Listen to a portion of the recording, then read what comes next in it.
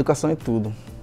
É a, a educação, para mim, ela é a base fundamental para que o indivíduo cresça mais do que profissional, ele cresça como pessoa.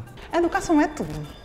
educação, a partir da educação a gente vai conseguir muita coisa, tanto na vida pessoal, na vida financeira, é através da educação que a gente modifica tudo, que a gente modifica o mundo. Então, é a partir daí que a gente vai mudar muita coisa, que a gente vai melhorar muita coisa.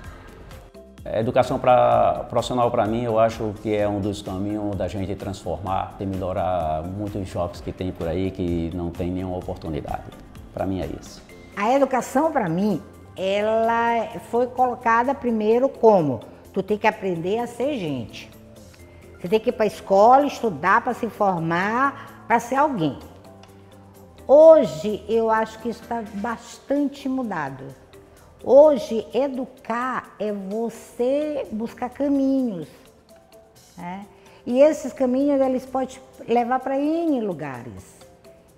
É, é você partir de algo, dizer assim, eu quero buscar isso e vou ali e consigo.